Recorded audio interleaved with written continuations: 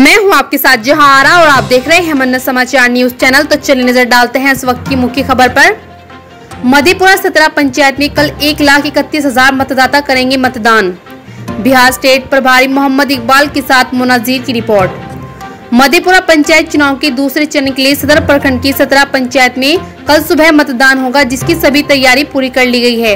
इस मामले की जानकारी देने के लिए मंगलवार को मधेपुरा डीएम श्याम बिहारी मीना और एसपी योगेंद्र कुमार के द्वारा संयुक्त रूप से प्रेस क्लब में प्रेस वार्ता आयोजित की गई।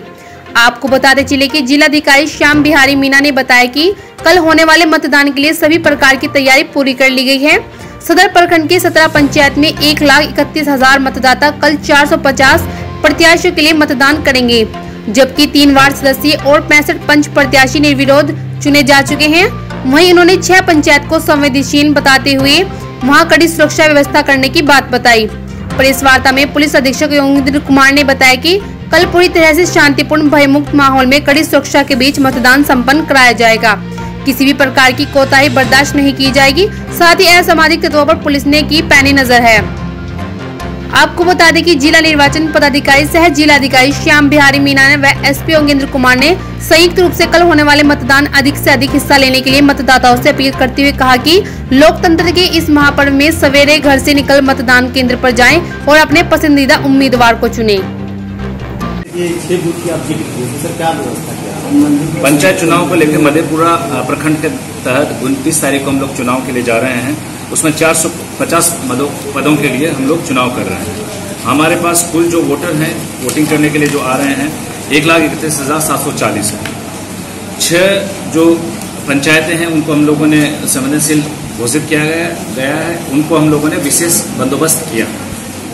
वहाँ पर हम लोगों ने जिला स्तरीय पदाधिकारी दिए हैं और फोर्स भी ज़्यादा दी है।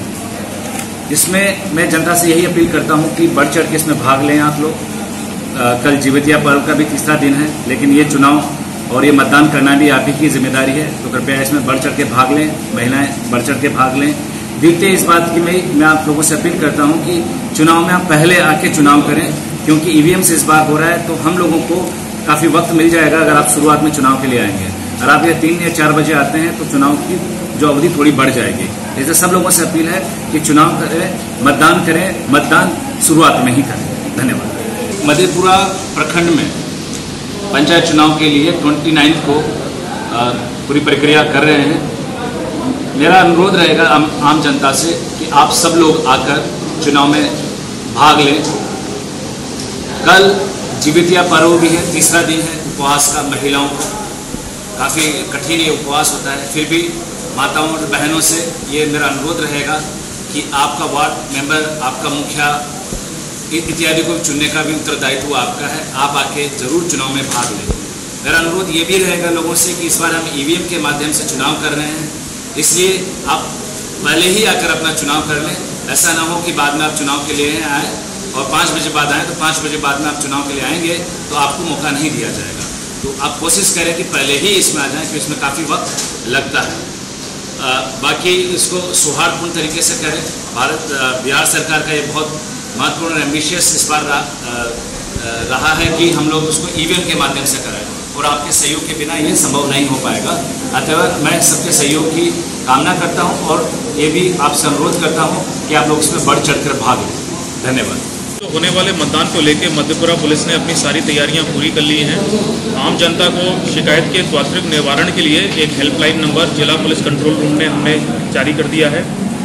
इसके अलावा हमारे पास ज़िले में पर्याप्त मात्रा में फोर्स और अधिकारी मौजूद हैं। सबकी तैनाती हम लोग ने सेक्टर में जोन में भवन में पीसीसीपी में कर दी है। चुनाव के दिन कोई हिंसा ना करे कोई उपद्रव ना करे। इसके लिए पुलिस ऐसे लोगों की सूची बना रही है जिनके बारे में गलत फीडबैक है हमारे पास नेगेटिव फीडबैक है और उन सभी को आज रात तक अरेस्ट या डिटेन कर लिया जाएगा। आ, करीब आठ हज़ार लोगों से पूरे ज़िले में पाँच लाख रुपए के बंदर पत्र भरवाए गए हैं। यदि इन्होंने चुनाव में कोई भी गड़बड़ी उत्पन्न करने की कोशिश की तो इनकी अरेस्टिंग भी होगी और ये पाँच लाख रुपए का बॉन्ड भी इनको भरना पड़ेगा। करीब अड़तालीस लोगों पे जिला बदर की कार्रवाई ऑलरेडी की जा चुकी है। हथियार, गोला बारूद और शराब भी बड़ी मात्रा में पुलिस ने बरामद की है। इसके अलावा हमारी जो सीमाएँ लगती हैं छः जिलों से, उसको भी हम लोग ने सील कर दिया है। तो कुल मिला के तैयारियाँ सभी की पूरी हैं और मैं आप लोग के थ्रू आम जनता से ये निवेदन करना चाहूँगा कि ये जो पंचायत चुनाव है, पिछले 10-15 साल के इतिहास में, ये बहुत ही महत्वपूर्ण है। इसमें पहली बार ईवीएम का इस्तेमाल हो रहा है बायोमेट्रिक का इस्तेमाल हो रहा है और बहुत ही मॉडर्न और सोफिस्टिकेटेड तरीके से करा रहे हैं। और आप सभी को पता है कि कल जीवतिया पर्व भी है, उसमें फास्टिंग की भी प्रक्रिया महिलाओं द्वारा रखी जाती है। तो मेरा आप सभी से निवेदन रहेगा कि कल भारी मात्रा में निकलें और जम के मतदान करें, ताकि जो वोटिंग टर्न अराउंड जो प्रतिशत है, वो हमारे ज़िले मध्यपुरा का सबसे ज़्यादा जाए और हम लोग एक रिकॉर्ड स्थापित करें। और मुझे पूरी उम्मीद है कि जो जिस सफलता से हम लोगों ने विधानसभा चुनाव कराया था, शांति से, एक गोली भी नहीं चली थी, एक लाठी भी नहीं चली थी, वही इतिहास और वही सफलता हम लोग पंचायत चुनाव में भी दोहराएँगे मध्यपुरा का और राज्य का और देश का नाम हम लोग रोशन करेंगे। धन्यवाद।